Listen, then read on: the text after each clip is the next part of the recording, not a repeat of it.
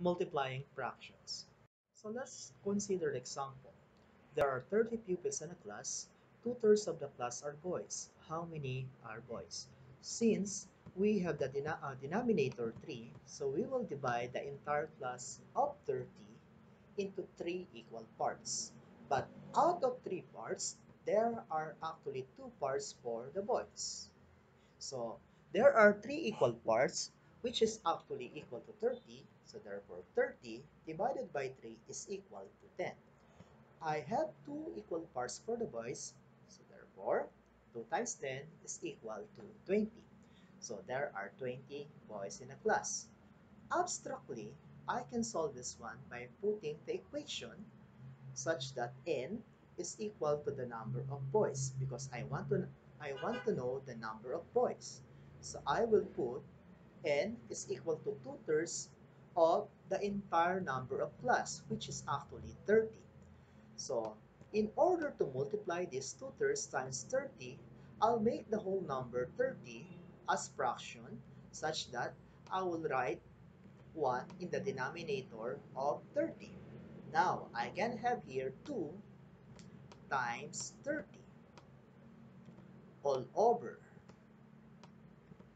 3 times 1.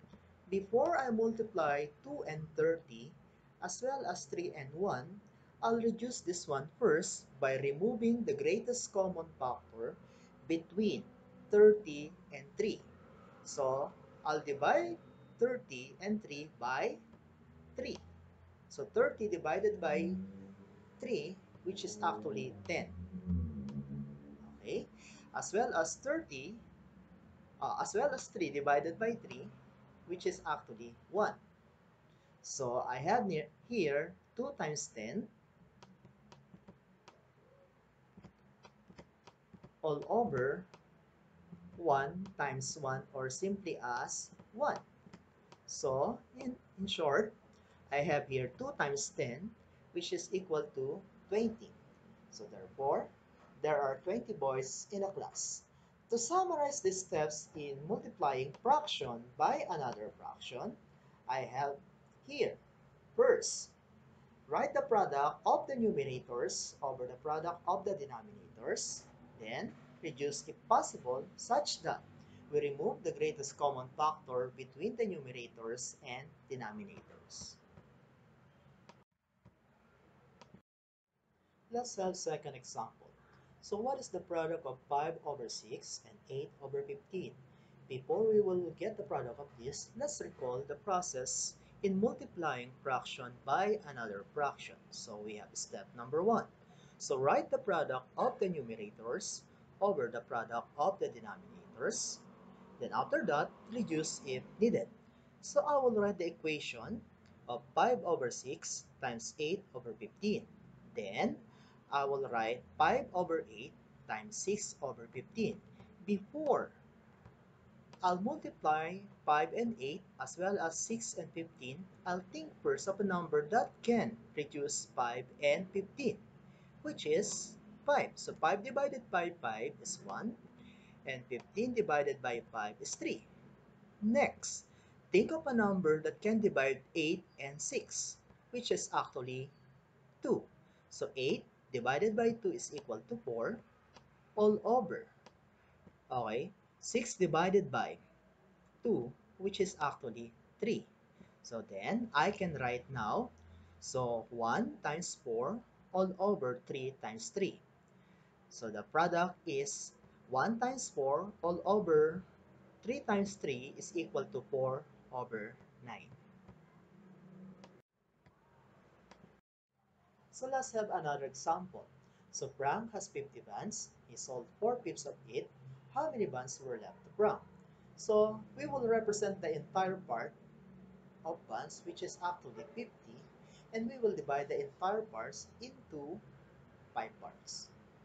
However, 4 out of 5 were sold, and only one part was left.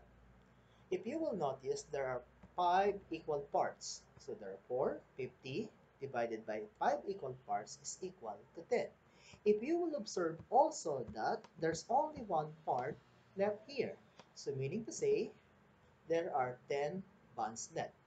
So abstractly, we can solve this one into two steps. So let's have the first step here. So I have 4 fifths of 50, meaning to say I multiply 4 fifths times 50. But I'll move or I'll make 50 as improper fraction such that I'll write 1 in the den denominator of 50. so again, remove the greatest common factor between 5 and 50. So 50 divided by 5 is equal to 1 and 50 divided by 5 is equal to 10. Okay, then I have here 4, uh, 4 times 10 all over 1 times 1. So I have here 4 times 10 which is equal to 40. So this is the number of bonds sold. But I want to find out how many bonds were left to from. So I will resolve to step number 2 wherein 50 minus 40 is equal to 10. So therefore, there were 10 bonds left. Let's have the product of mixed number by another mixed number. Say for instance, what is the product of 1 and 1 half and 3 and 2 thirds? So I'll write first the equation 1 and 1 half times 3 and 2 thirds.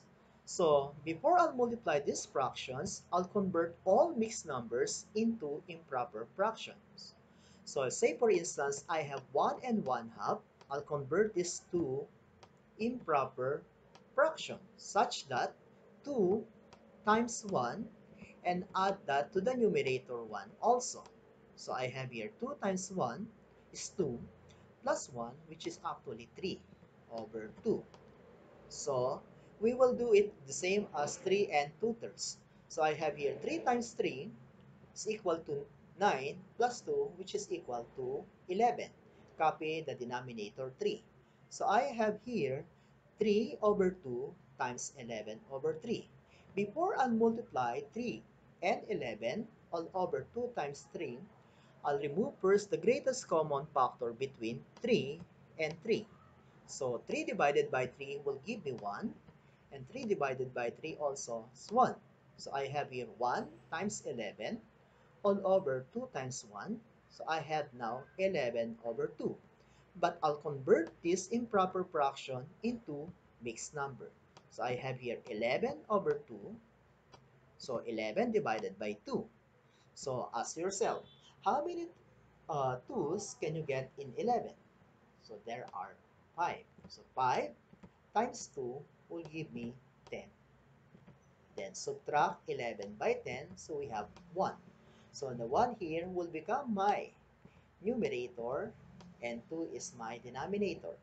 So therefore, I have here n is equal to 5 and 1 half.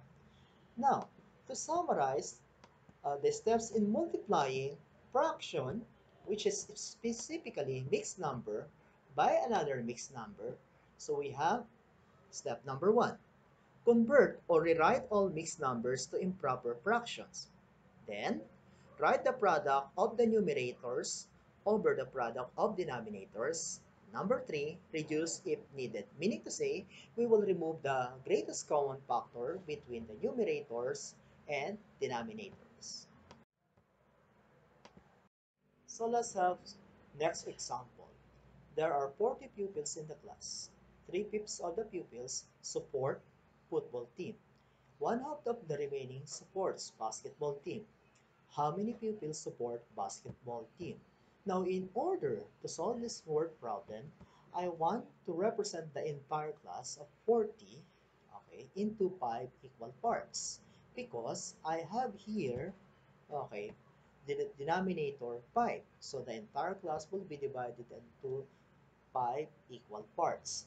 Out of 5 equal parts, 3 parts are actually for football team or supports football team and 2 parts uh, of the remaining supports basketball and other team. However, okay, out of the two remaining parts, one half or one out of two support basketball team.